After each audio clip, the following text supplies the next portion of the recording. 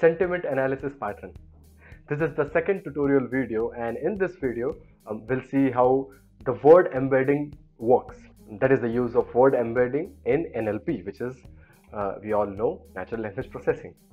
For this we will use um, one of the most useful data set which is IMDB reviews dataset uh, which is available in TensorFlow library and then eventually we'll do some uh, Keras deep learning model um, data analytics in Python to see whether our model is predicting the IMDB reviews sentiments correctly.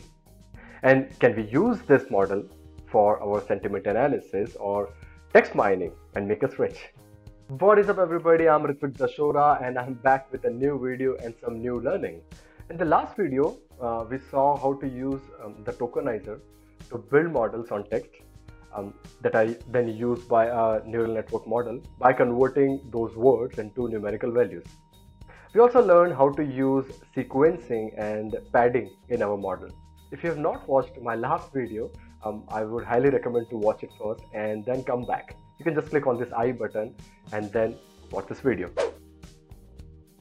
Embedding precisely speaking, word embedding in NLP, um, what it does is it maps the tokens in a high dimensional space, such as 16 or 32. The number of embedding dimensions can be different uh, depending on the model type. So now, instead of a word just being a number that we saw in the last video, it's like a vector in n dimensional space. And the process to learn these vectors, associating them uh, with the labels, to come up is called word embedding. Now the concept behind this is that uh, these vectors can then be tuned so that uh, the words with the similar meanings can have a similar direction in uh, the, the vector space. So for example, the word happy might be a vector pointing in a particular direction, right? And then another word such as um, cheerful could be learned uh, as a vector pointing in a similar direction and we all know that these two words have the similar meanings. Now before jumping to the code, I have the question of the day. Does tokenizer functionality in Keras dot processing um, consider punctuations? Write yes or no in the comment section. Um, I'll feature a few lucky people uh, in my upcoming video. And the hint is that the answer of this question is in my last video. So click on this I button and know more. Now back to the word embedding. Um, as I mentioned previously, we'll be doing the IMDB uh, dataset analysis, or I should say um, the IMDB um, dataset sentiment analysis using the already existing dataset uh, on the TensorFlow library. Um, it is a large movie review dataset and it is used for a binary sentiment classification that is positive review or negative review. Um, it has 25,000 movie reviews for training and 25,000 for testing. So it's a huge data set. If you want to read more about this data set, um, I have mentioned the tensorflow.org link in the description box. Now let's see the code. If you're my subscriber, then uh, this code will be saved in my Google Drive. From there, you can directly uh, download it and then use it for your personal uses. Um, if you're not my subscriber and want to uh, get the access of my Google Drive, then watch this video till the end and there is the information how to do it. Now let's implement this in Python. We started with importing uh, the TensorFlow datasets as data, which has the IMDb reviews dataset. Then we did import uh, NumPy as NP, and this is how we extract the pre-saved dataset. All these lines are um, used to make the training in the testing dataset for IMDb reviews. Um, let me explain them briefly. First of all, we extracted uh, the train and the test segment in the first line. Then using append, we made the training and the testing dataset for uh, the IMDb reviews uh, dataset to get the train sentences and the, I would say, train label labels final, test sentences, and in the end, test labels final. You should not spend much time understanding this code, uh, rather just, just copy and paste these lines as the IMDb reviews dataset is prepared in such a way that we need to write these lines to make uh, the final training and the testing um, dataset. Um, and the way of creating training and testing dataset will always be different for different datasets. All in all, just copy and paste these lines it's good to learn, but it's much better to be smart. We'll focus on the neural network model more than making the dataset.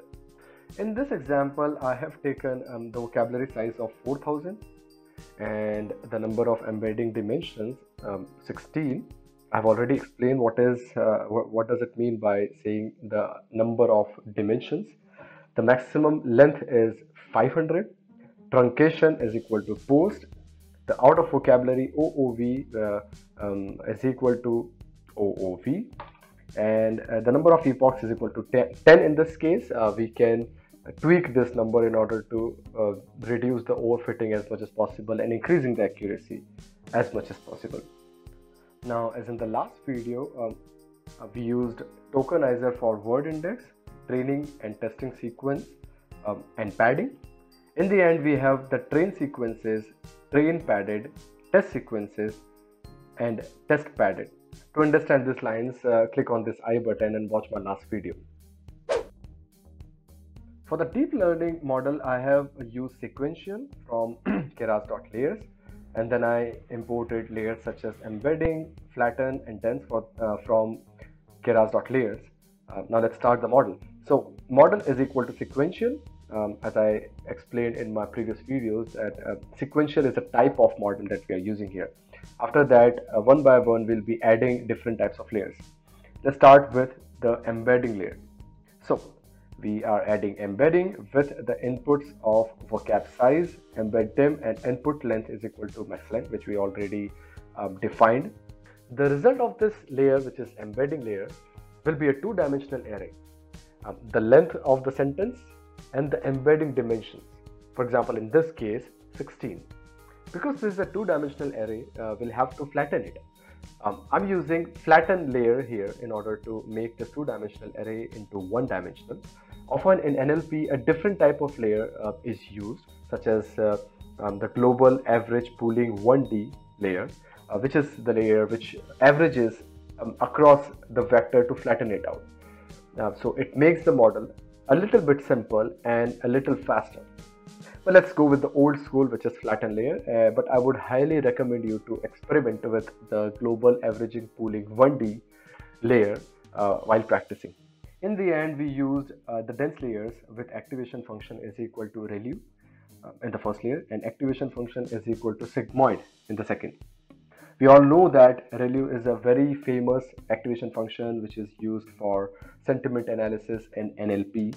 Um, the number of the number of nodes in the first layer uh, is e in this example is equal to 8 and of course uh, you can experiment with different layers.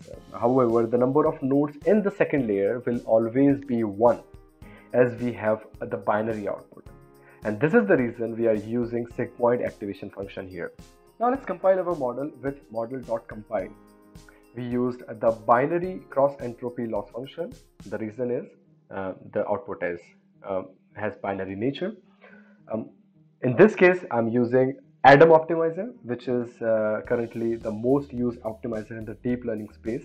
In the end, Metrics is equal to accuracy um, to see the accuracy of the Keras deep learning model. Now everything is done. Um, time to train our model using fit functionality. I'm using model.fit with inputs such as train padded, train labels final. In this case, uh, epochs is equal to epochs uh, because I already mentioned uh, uh is equal to, uh, epochs is equal to 10 before. Um, validation data is equal to test padded comma uh, test labels final in order to see the exact accuracy of the model now let's now let's train it in the first epoch we can see that the accuracy has already gone up to 78% with the validation accuracy of even better which is 87.7% but from the next epoch it has increased uh, more than 90% and our validation accuracy is very close to our first epoch. Let's see what will be the the accuracy, uh, the training accuracy and the testing accuracy of the last epoch.